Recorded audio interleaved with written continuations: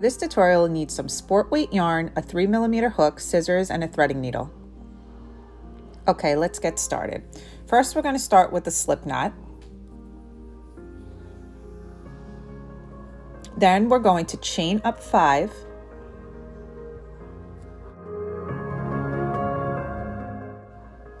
Now we're going to slip stitch into the first chain to form a circle.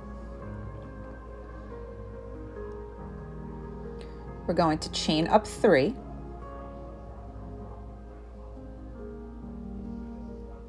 And we're going to work 15 DC into that circle.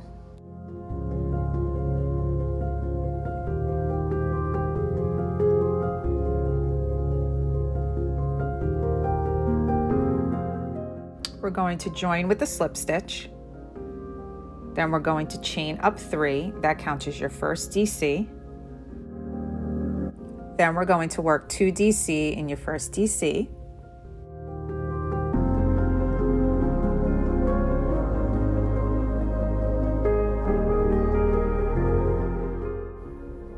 We're going to chain one, skip one DC, and work three DC in your next DC.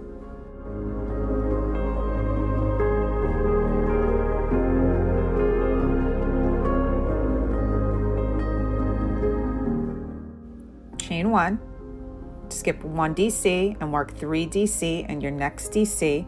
And we're going to do this all the way around.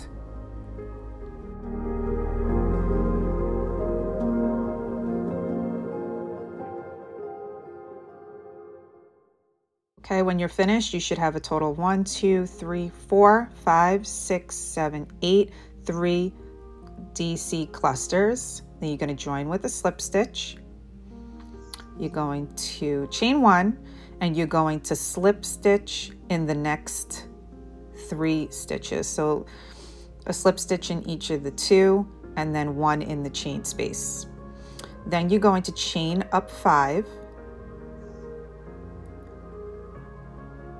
and slip stitch to the next chain one space, chain five,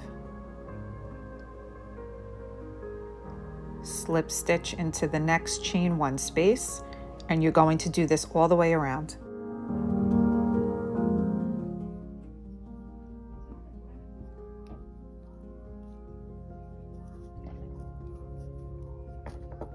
Okay, when you're finished, you should have a total of one, two, three, four, five, six, seven, eight chain five spaces. You're going to fasten off and you're done with your first flower.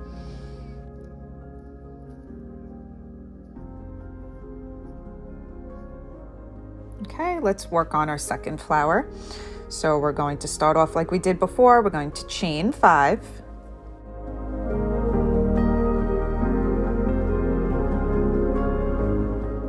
Okay, join with a slip stitch in your first chain, chain three, and work 15 DC in your circle.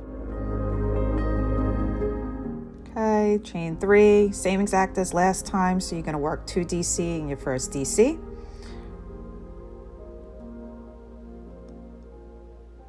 Chain one, skip a stitch, skip the DC, work three DC in your next DC and just do that all the way around.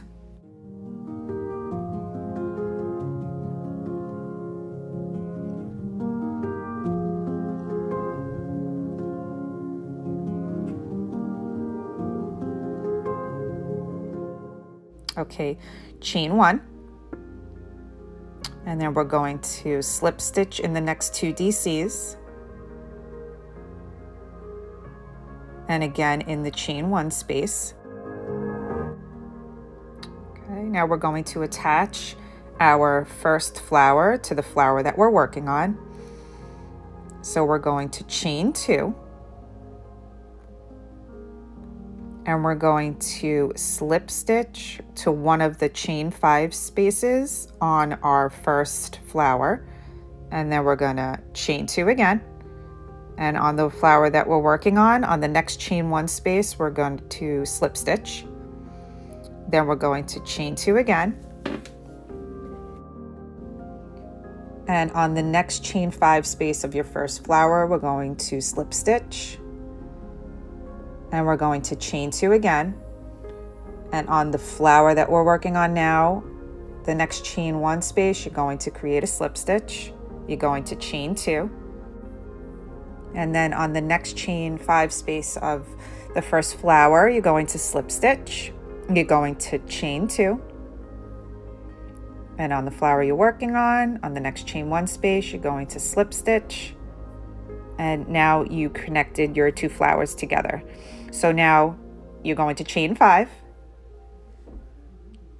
And you're going to slip stitch in the next chain one space of the flower you're working on.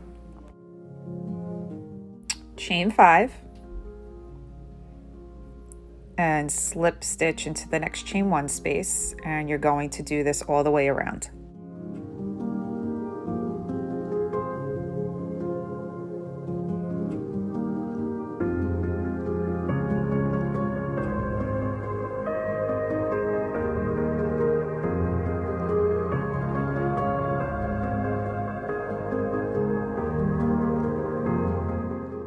Okay, fasten off.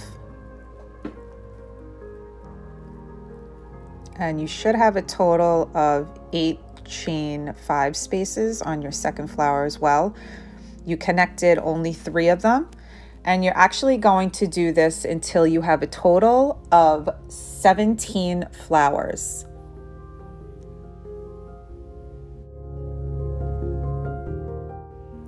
Okay, once you're finished making your 17 flowers in length, sometimes you may need more if you have a larger head, I'm going to show you how to make the knot.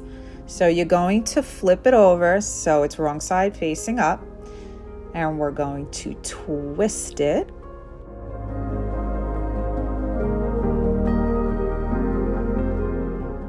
When you're creating the knot, you should be seeing the, the right side of your work.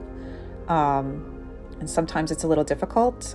You kind of have to just work it um, so it lays flat. Um, but as you can see, the knot is there.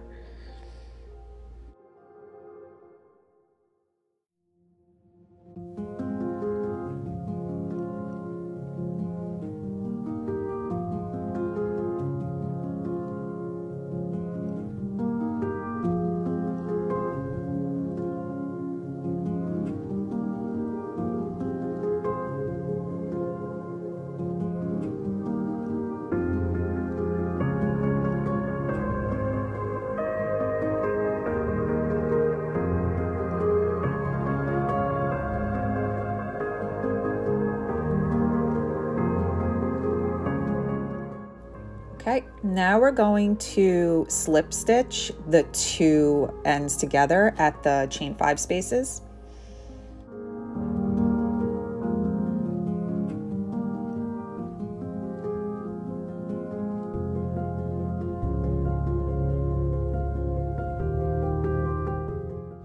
Okay, so we're going to attach at the first two chain five spaces, chain one, slip stitch and then join the next two five chain spaces with a slip stitch.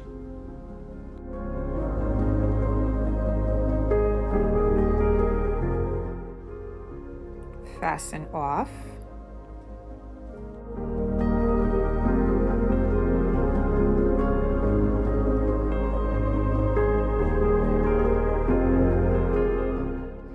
And you are finished. You are done with your headbands. I hope you guys enjoyed this tutorial. Please like, comment, and share, and make sure to follow. Thank you.